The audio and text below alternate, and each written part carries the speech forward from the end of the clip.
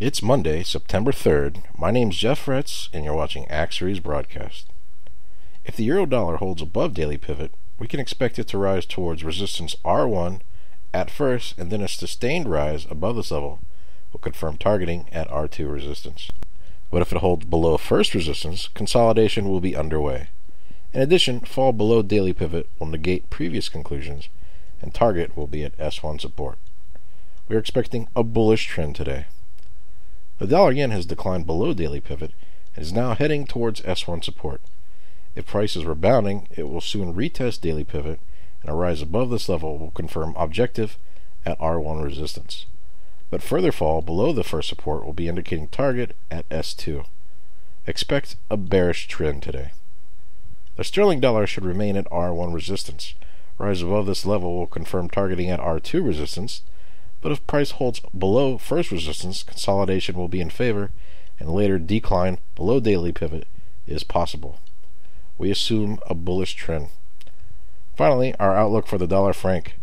After consolidation, we're expecting price will fall towards and retest S2 and then it can form a bottom near S3 support with a deeper decline possible.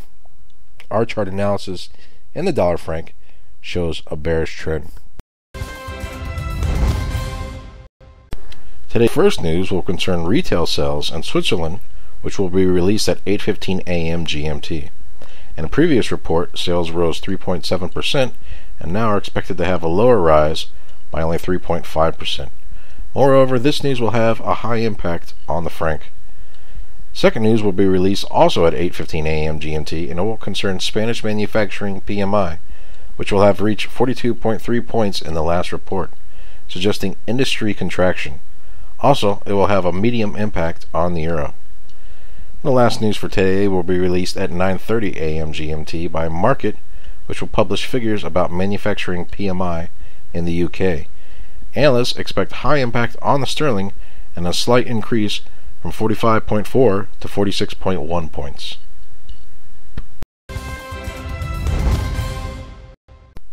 And now our trader and strategy summary for Monday, September 3rd. Sphinx is holding at first place in Mirror Trader with 3,185.4 pips in the last 90 days. It is followed by Teo Strategy, which gained 734.4 pips, and at third place is now PMI Invest Capital with 669.1 pips. According to the new ordering, IGS Fund is at first place with 9.54% because it has the highest rank, 4.93 points. Second place is occupied by Jumping FX gaining 13.70%, and at third place is Low Risk Invest with 23.96%. And on this date in 1752, this day never happened, nor the next 10, as England adopts the Gregorian calendar. People riot thinking the government has stole 11 days of their lives. All of us here wish you a successful and productive day. So until tomorrow, thanks for watching Axiory's broadcast. Goodbye.